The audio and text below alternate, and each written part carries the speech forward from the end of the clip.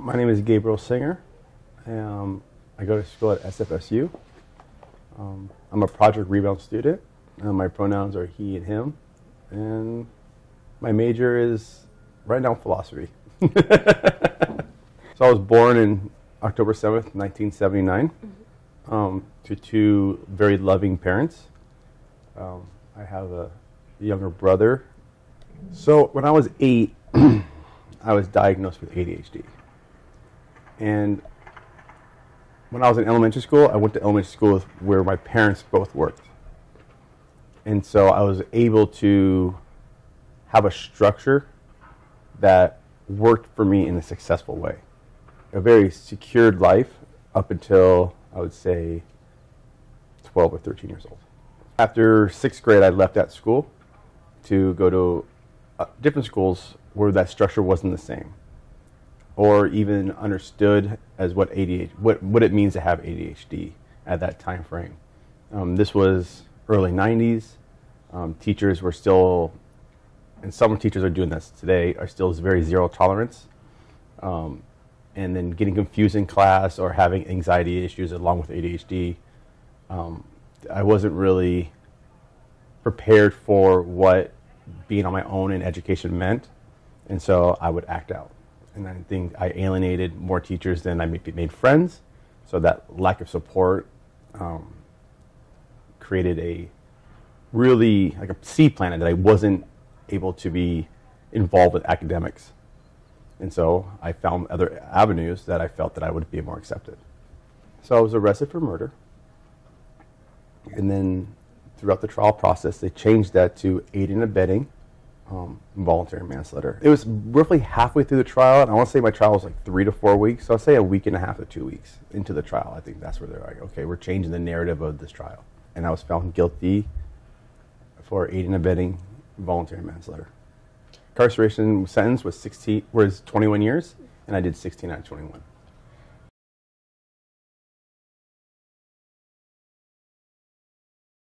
Oh God, um, it changed me in so. Uh, God, so many ways. Um, I think I'm still trying to figure that out right now. I get that same question all the time, like how is it, how is it to be free, like get get out? And I've only been out for like 11 months, and I think that I'm still running a very much similar program that I did when I was incarcerated, which in society is like super successful. Like you go to school, you have a job, um, but the long-term effects of incarceration, I don't think I've really been able to process yet. Um, I think because I'm still on parole, you still have some kind of like handcuffs on you in a sense, metaphorically. Like you have a parole officer, you can't can't leave 50 miles um, within my parole area. You know what I mean, San Francisco. Um, and I've, I've, developed a lot more anxieties than I've ever had. Um, very, we used to be a lot more outgoing human being. I was a huge expert. I knew everybody in town. Now I really don't know that many people. And it's not because I was gone for 16 years. It's because I'm not that outgoing anymore. Um, I'm approachable, but um, I still, I still now I feel very, I don't feel very comfortable being in groups. I don't feel comfortable talking to new people. Um, it's a process to be to be on Zoom meetings where I have to talk. I have to like really get more and more comfortable, and I think that's all due to incarceration. It's a regimen. So you you know you get up the same time every day, you clean your floor, you brush your teeth, or you brush your teeth and then you clean your floor, mm-hmm. however you want to do it. Drink your coffee. Um, it's the same thing every day. It's very repetitive, and so for people like myself who thrive in situations where you're structured, I think that's why I was able to get so much education out of it and so much insight and self help. At the same time, that's also why I was able it's why I have so many other issues that's in a, in a now a chaotic society that's not very regimented. And even me trying to be that as much as possibly I can, I can't predict what time the bus is going to show up. Even says, even though it says like, you know, be there in five minutes, it could be there in 15 minutes because of a car accident. There's so many other variables now in life you used to have all these ads in prison legal news. You had Adams State University, you had Project Rebound, you have Blackstone Paralegal, you have all these books like self-help books and legal books that are all these little ads. And I remember seeing Project Rebound at San Francisco State and the idea of it. So I cut it out and I just kind of put that in my my address book, and I was just like, okay, this looks like something I need to pay attention to.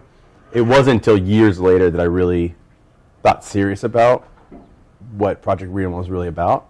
Um, until I wrote them one day.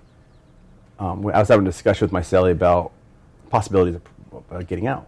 You know, I mean, what are we going to do? We're going to Coastline University, Coastline College inside, or then um, Bakersfield College started showing up, and like all these classes started happening. And so everyone's like, no, everything's sold to you as like you can do this upon parole, but when you like apply, you get denied because you're you have a record. Um, so I was like, you know what? I don't think that's true. So I wrote Project Rebound and asked them all these questions, and um, they asked me for like unofficial transcripts. So I sent all that, and then Doris wrote back was like, yeah, can't wait till you get here. My goal was to better prepare myself upon release. Um, and so, and also learn learn more about myself and fill voids of myself that I needed to fill. Um, going back to what I talked about my younger youth and having that seed planted that you're not invited to the table or the party of academics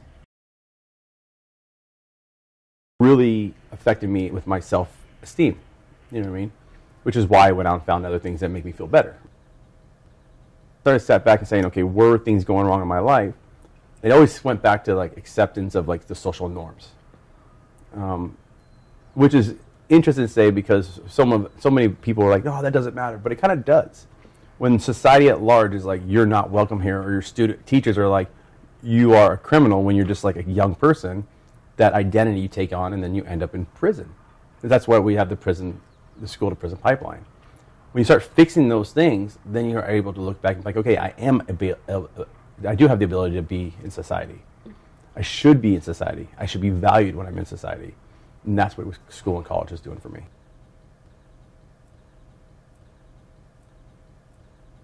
What being incarcerated does to a person, it, it completely dehumanizes everybody.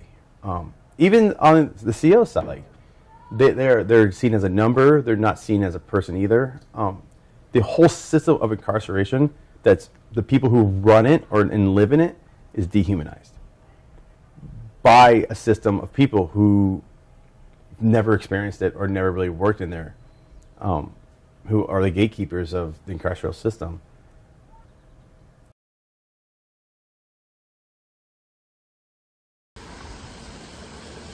Find out who I am. It's something I struggle with the most. Um, because of you just there's so much that happened in prison, and there's so much that happened prior to prison um, you don't associate yourself with a lot of people that you used to know because that time has been so fast so far. So I'm not, and then you're like, oh, well, that used to be my really good friend, and then you've fallen off that person's radar of even we used to talk to every single day. Now it's like, oh, they spent so much time without you that's almost like you died and came back.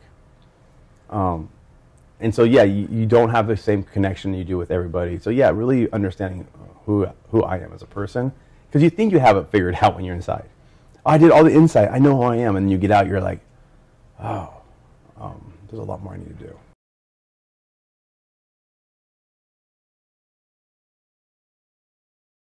But I also think the most, some of the most shocking things that, that's happening is the division of our society right now. I don't remember.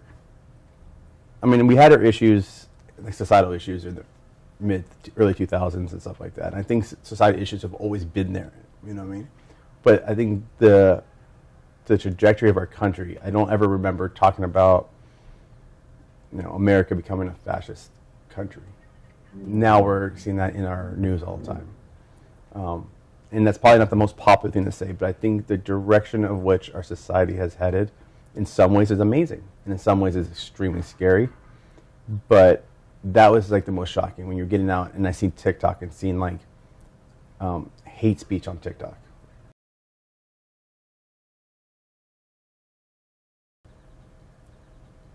My life is, I mean, it's interesting. You look back, hindsight story 2020. You look back like, like life was really cool, but was it? You know what I mean? Like, I ended up in jail because of situations and feelings I had about myself, about society at large, um, and different kind of like developmental things. Um, so I would say I was having a good, I had a good life. I had uh, friends and family and, and stuff like that. But I think I was also struggling to figure out who I what I am now, who I was then, as well. I'm trying to figure out who I am now. So I don't. So it's the same kind of struggle because when you're in your early 20s, you're like, you know, you think you know who you are, but then you're like, what am I going to do for the rest of my life? You have all those kind of things. So now I'm in my 40s, you're still trying to figure that out because of the gap of time you spent, which you weren't allowed to get to figure it out. Um, going to self-help groups and having a prison job and going to school doesn't, I mean, it allows you to have a little bit of extra freedom in prison, and it does give you some growth. But it really doesn't give you that real developmental growth that you get when you're going through the trials and tribulations of living in society on the street. This is the first year that I joined the experimental college. And so I'm teaching a class on restorative practices because I believe that everyone needs to have a good understanding of what restorative practices and justice is.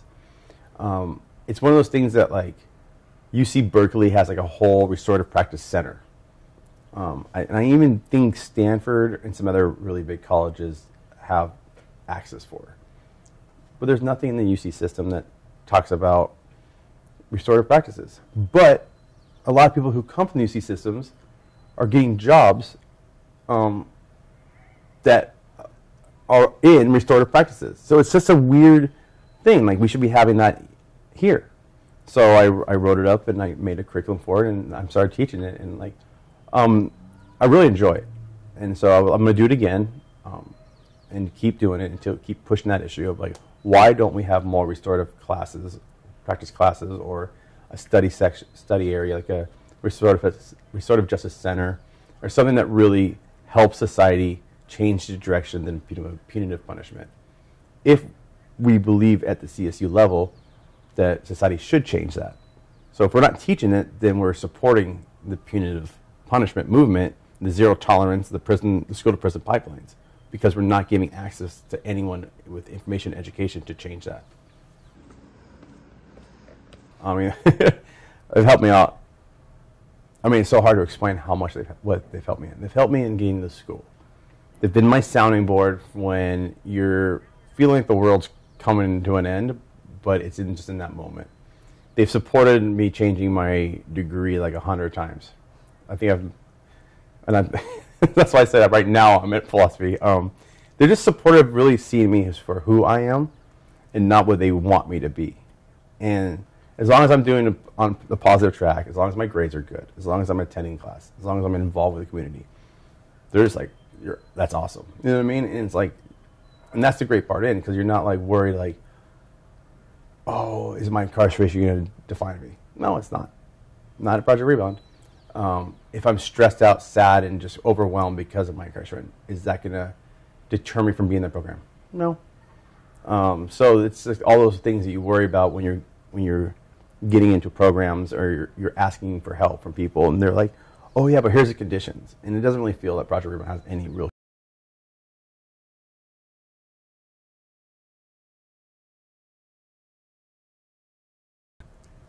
and not saying school's easy, but I want to be. So you put the effort in being a good student, you'll become a good student, and um, with the support and help from outside people. Project Rebound's that support and help for me. If I could take Project Rebound and just like expand it like tenfold to like every school in the United States, um, I would I would do that. I, I just think the the ideology of Project Rebound is a really good one. Um, their help is amazing. Um, through all the barriers and the naysayers that they probably have come, they come across, they still make magic happen.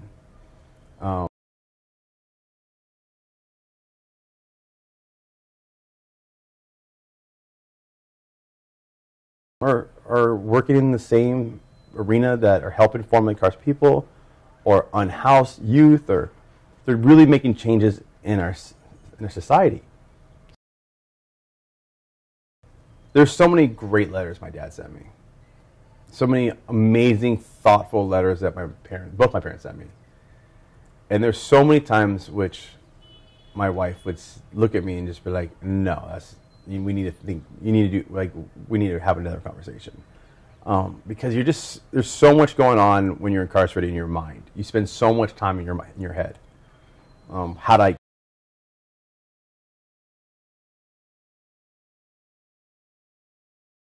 a lot of it. Um, a lot of that keeps you safe as well as gets you in, in trouble as well. But my support team was really like allowed me to think about things that I needed to think about. My dad would send me, but both my dad and mom would send me books, um, and including my wife. And they sent me good books, like, thought-provoking books, and I think that really changed on how I saw myself or in my value when it came it came to education and then you open, then doors open, and you're like, oh, I'm in get my GED, and then you're like, oh, I met this teacher, and this teacher sees you in a different light than you ever saw yourself, so they ask you to become a TA, and then you meet another teacher, and they're like, oh, I think you should do college. You're like, ah, that's not, I'm not doing that. They're like, no, seriously, come on, and then you start meeting these people that, which is funny to say in, in, the carceral system because there are good employees of the prison system that are trying through all the messes of prison to say, I see you as a human, not for what you did and not for the color you're wearing, but for your potential. And I, I got some meet some really amazing people. One of them is Dr. John Runyon, who helped really helped me see myself in a different light. And then I was able to write that back to my parents, and they're like, "See, you get it now." so they kind of like, I'd see this change. I had a support system I could re- reflect that off of, and they're like, "Yes, my proudest moment. um, so I think it's maintaining my relationship with my wife through all this. Um, so prison relationships are higher divorce rate than society. So I think what society is like 50 or 60 percent. So prison is like 80 percent divorce rate, and then that's during your incarceration. And I think it skyrockets up to like when you get out. And right now we're still trekking through. So um, if I can not be part of that statistic, I think that would be my greatest thing. Because we're proves everything wrong, like everyone wrong. Like when you even when you get married, the CEOs are like, "Do you know what your husband's in prison for? Do you know what his issues are? Do you know all this?" And they're like, "Yeah." And then during that whole thing, they don't treat prison wives very well. You know what I mean? It's they're stigmatized. They're treated horribly. If in the future I'm still smiling like I'm doing today, I'm happy. That's that's yeah. That's I don't really need much. I'm I'm enjoying my work. I love being in school. I see future for still getting a um, graduate degree, um, still working. But I think in the as the older I get, that's that means less, even though it's important. Happiness is just sitting back and being able to appreciate that you know we're on this planet for so much time, and we should smile when we're doing it.